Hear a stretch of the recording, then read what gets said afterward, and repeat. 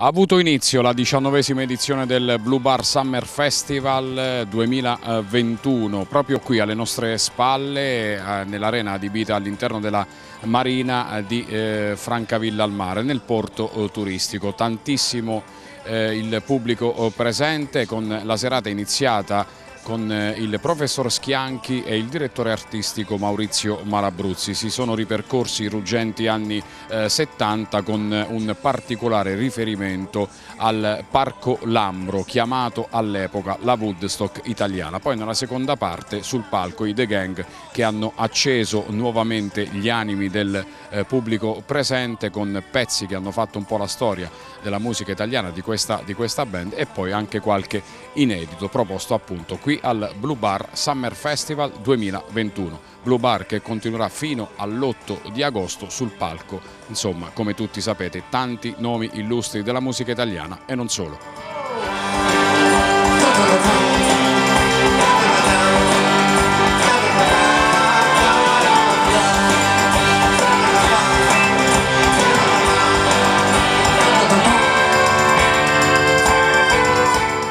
Una serata eh, d'apertura che ha emozionato il folto pubblico, adesso però comincia il difficile, possiamo dire così, perché poi insomma ci si prende anche gusto.